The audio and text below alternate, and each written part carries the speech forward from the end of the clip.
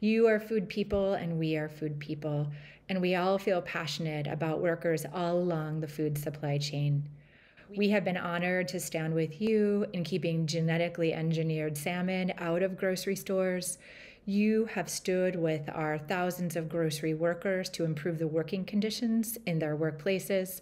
Most recently, collectively, we as members of PCC have gotten workers on the board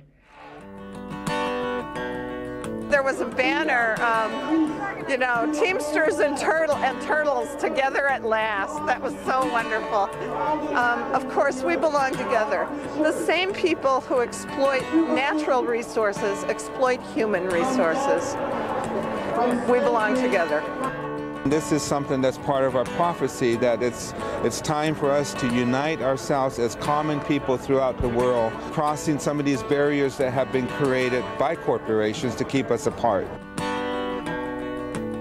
CAGJ does so much work and brings together so many incredible humans who care about making this world a more just, an abundant place for all, and I feel so grateful to be part of that community. Uh, CAGJ really offers a beacon of hope, connection, and solidarity in a time where the world can feel really messy, challenging, and hopeless.